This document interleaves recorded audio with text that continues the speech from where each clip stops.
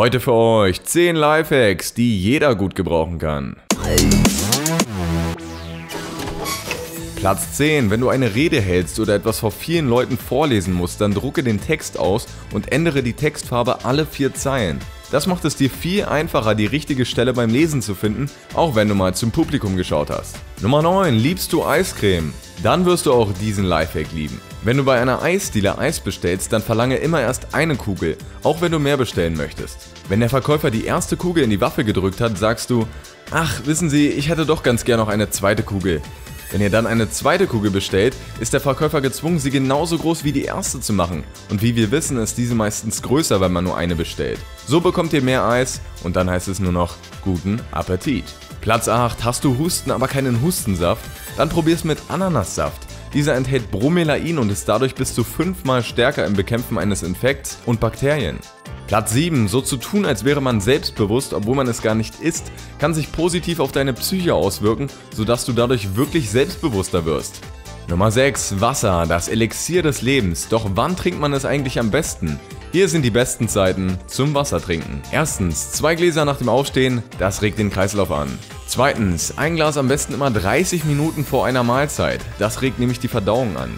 Drittens, ein Glas bevor du duschen gehst. Das senkt den Blutdruck. Und viertens, ein Glas vorm Schlafengehen. Das beugt Herzattacken vor. Also gerade für die Älteren von uns interessant. Und der nächste Lifehack dreht sich auch um das Thema Gesundheit. Platz 5. Du möchtest ein paar Kalorien verbrennen.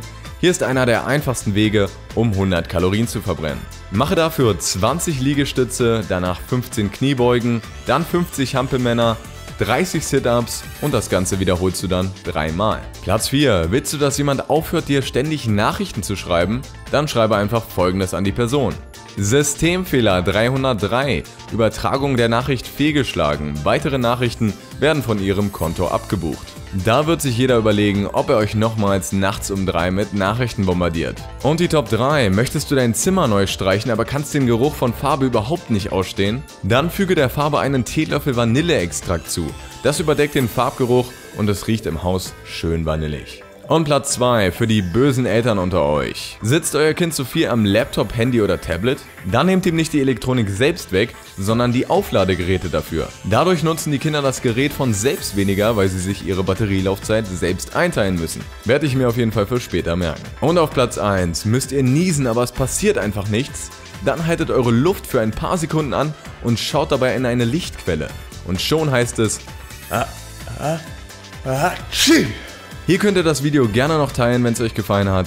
Bis zum nächsten Mal. Ciao.